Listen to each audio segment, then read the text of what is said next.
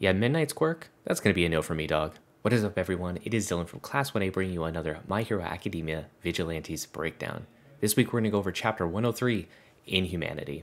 We open up back in the hospital with number 6 who has been apprehended. Detective Tsukauchi even manages to get the stun handcuffs on him before calling for Midnight to put the nail in the coffin with her quirk. Before Midnight can reach them, number 6 melts and contorts his body out of the cuffs. At this point, number six has his cells fused with the bomber quirk cells, so essentially he has mind control over those cells, which allows him to control the Anons.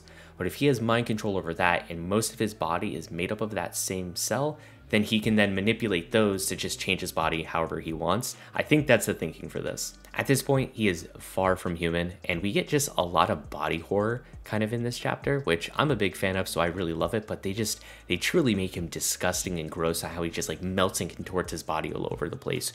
Really horrifying stuff. Six then gives us the line, You want me dead? You should have aimed for the head and his knuckles start glowing. Just super on the nose Thanos reference here, absolutely love it. Throughout this fight, we keep getting a back and forth between 6 and 2 o'clock.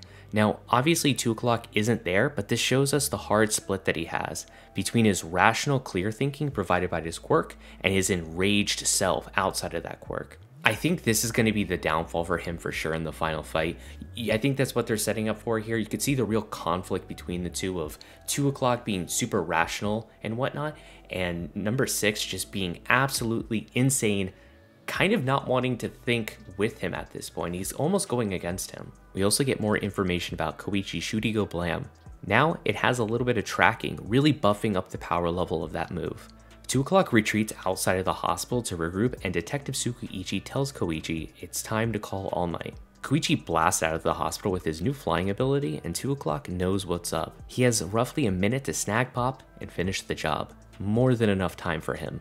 But Koichi suddenly lands back next to 2 o'clock, setting up for the final showdown. So the question is here, why is he coming back and not just calling for All Might? So number one, I think it's that his priority is just solely on Pop at this point. He he loves Pop. He wants to save Pop. That is his mission at this point.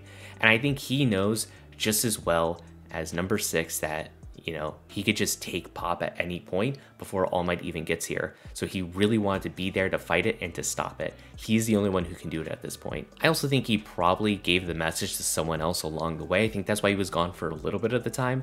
My initial thought is Ingenium because, you know, of how fast he is. I think he gave it to some hero you know, out there just to go and call All Might. He didn't want to do it himself, like I said, to save Pop, but I think the message is still getting out there. Just the question is who. So I think they did this because they want to give us a little bit more of a clock to actually have this showdown in.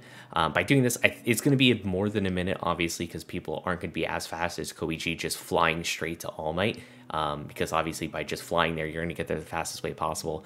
But they want to give us a little bit more time, still have the confrontation, but still have that countdown in the back of where All Might could show up at any second. So that puts a ton of pressure on number six. So at this point, I think the story is starting to peter out just a little bit. We've been drawing this final fight out for just a really, really long time now, but I think it was important to do this. We needed a little bit more information on some of the quirks, mainly Koichi's, just to build his quirk out a little bit, give us some more information about it, and also give us some insight into number six. I mean, towards the end, we see that line of how he doesn't want to be nameless and faceless anymore, which obviously is super far from the truth because, you know, he was grown in a lab, so he has like no name already. And after the fight with Endeavor, he has no face now. Like it just like completely melted off. So he's literally nameless and faceless. And I don't think he wants that. He wants the spotlight, he wants to be powerful. And I think Koichi's going to have to just deny that right here. So the question is, what is next for the series at this point? I think we're going to be getting the fight finally. I think the fight has to come next chapter. I, there's like very little they can do at this point to like skirt around it unless they have like a flashback or like a flash parallel to like another point in time. Um, but I don't think they would do that. I think I think now is the time to have the fight, especially with the extra week long break that we just got previously. This fight is gonna be intense though. It is going to be a really good one. I think there is a couple key factors to think about for this fight. One, Koichi is really strong right now, and he is the prime example of what it means to go plus ultra. So expect some things just like out of left field, just throwing random things out of his pocket to deal with this. Number two, Number six is terrifying at this point. He is like, his power level, I would put it up there with some of the top villains in the main series itself. So I think even Deku, like if you were to step in at Deku's like current power level that's like super, super high, would have a hard time dealing with him. So it is going to be uh, a scary fight for Koichi nonetheless. But I think what's going to be really important here is just picking him apart at his like psychological level. I think it's important not only to just like run him down like in terms of like running his quirk out, but also getting his inner self to fight with each other. Get the rational part of his brain and get this enraged self part of his brain just to fight with each other to lead into an opening to actually take him down. I think that's the key here. And not only is Koichi going to do it, but he's also going to be leaning on his friends and other heroes uh, at the hospital to actually do this. Regardless, this is going to be an incredibly hype fight. You know, mark it down in your calendars, get the event tickets out there because it is going to be an absolute banger of a fight. And I have full expectations that this chapter coming up is just going to be 10 out of 10, finish the series in a perfect way. It is going to be wonderful.